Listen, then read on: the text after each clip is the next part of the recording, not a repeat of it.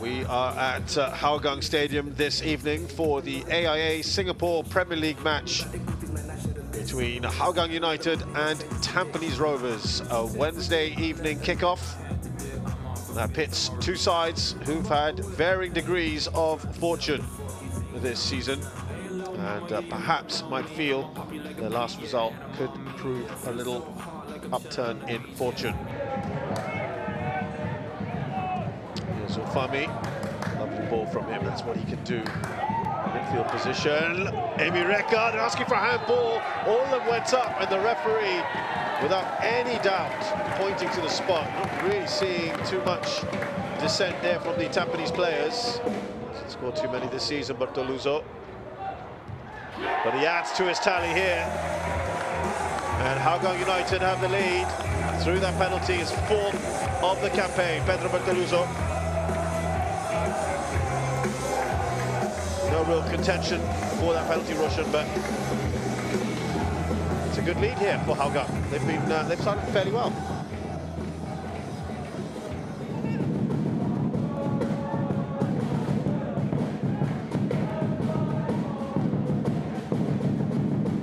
Well, to be fair, five days. Oh, that's a great ball, and he's kneed it in, hasn't he? Nakamura. Everyone just seemed to stand still.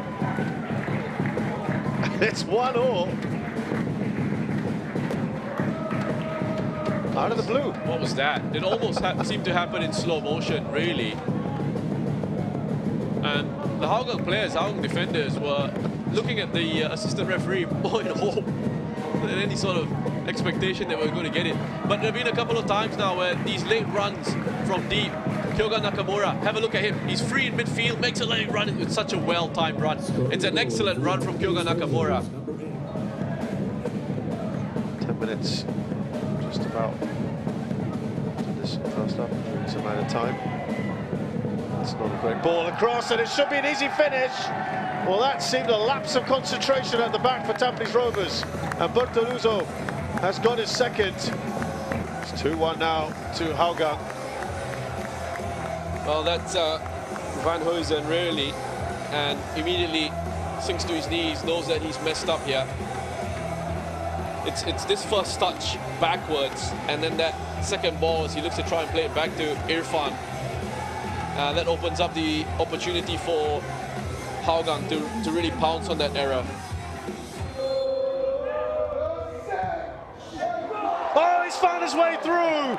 Kopitovic. Well, that was on the side closer to Mukunda. He was marginally more to his left.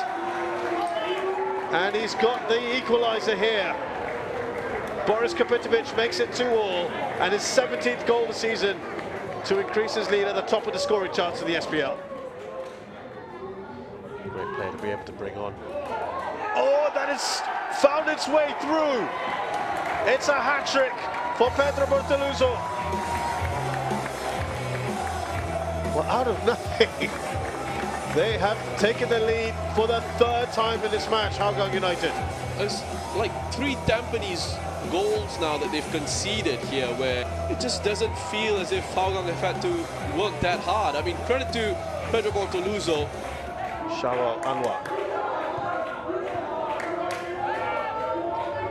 Managing this now. Kaishu fires that across the goal. And that is another one for Hougang right at the end of this game. It's Shawal Anuar who makes it four for his side tonight. Lovely camera angle on that goal as well from Shawal.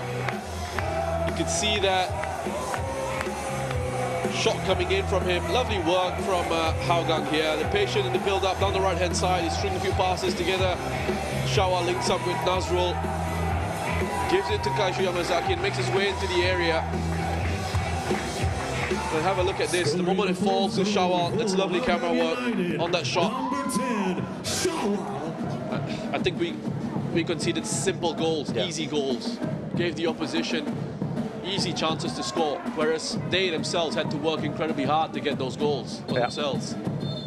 And that brings to an end this match here, which really came to a life around the hour mark or so.